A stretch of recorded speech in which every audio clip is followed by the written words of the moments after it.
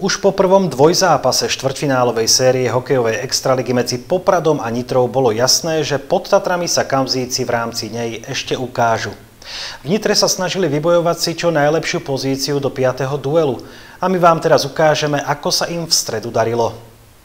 Po nešťastnom druhom domácom zápase bolo medzi Popradom a Nitrou vyrovnané 1-1. Pod Zoborom sme pre seba uchmatli duel číslo 3 po výsledku 2-0, no smolne sme prehrali ten štvrtý a to po nájazdovej dráme 1-2. Návrat pod Tatry bol teda v stredu za stavu 2-2 na zápasy. Kamzíci mali bleskový nástup. Už po 29 sekundách sa natlačil pred kašíka Tyler Coulter a parádne zavesil. Hral sa otvorený hokej smerom dopredu a šance sa striedali na oboch stranách. V 10. minúte ale všetkých prekvapil domáci obranca Viktor Svet Svedberg, ktorý obišiel bránu a bez váhania zvýšil na 2-0. Hostia prehrávali a rúpli im nervy. Odniesol si to Robert Bačo, ktorý nám až za dva nešetrné zákroky pri Mantinelli venoval 7-minútovú presilovku.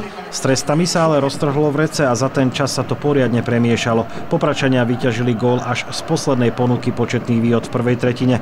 V 18. minúte z podobnej pozície ako pred ním Svedberg pridal svoj druhý gól v zápase Tyler Coulter. Do druhej tretiny Nitrania vymenili brankára a prepli na vyšší level. Domáci statočne odolávali a mohli udrieť v samom závere. Ušiel Jendek a sekundu pred sirénou zmazal jeho delovku lapačkou aj Tokálio. Úvod tretie tretiny vyšiel Corgoňom. V 43. minúte sa puk od Belányho betónu odrazil k Tomášovi Hrnkovi a ten tvrdo vypálil do siete. Diváci na štadióne sa ale dočkali drámy. V 51. minúte vystrel od modrej Branislav Mezej a už to bolo zrazu iba o gól. Netrvalo dlho a začínalo sa od znova. Nitra úplne zmazala trojgólový náskok kamzíkov. V 53. minúte vykúpal Belányho Samuel Buček a vyrovnal na 3-3. To však nebolo všetko. Hostia vyrobili dokonalý obrad. V 58. minúte hrali presilovku, od modrej strieľal opäť Samuel Buček a prišli sme o sľubne rozohraný zápas.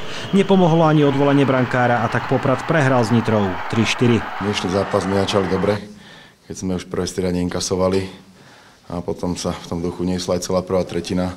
Hrali sme tam oslabovku, zbytočne sa nechali vylúčiť a teda boli sme radi, že sme neinkasovali ešte viac, keďže poprad bol početné výhode a že to skončilo len 3-0.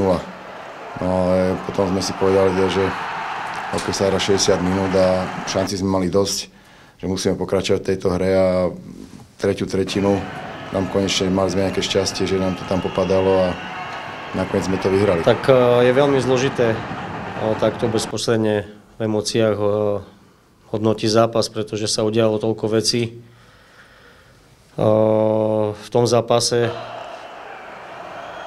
potrebujeme si samozrejme to rozobrať a, a séria sa hrá na 4 víťazné zápasy, čiže toto je pre nás momentálne smerodajné, na to sa musíme pozerať a, a jednoducho za ten krátky čas sa vrátiť k tomu, čo nám prinesie výhru v najbližšom zápase. V piatok 29. marca sa hrá v Nitre zápas číslo 6 a prípadný 7. duel bude v Poprade v nedelu 31. marca o 16. hodine.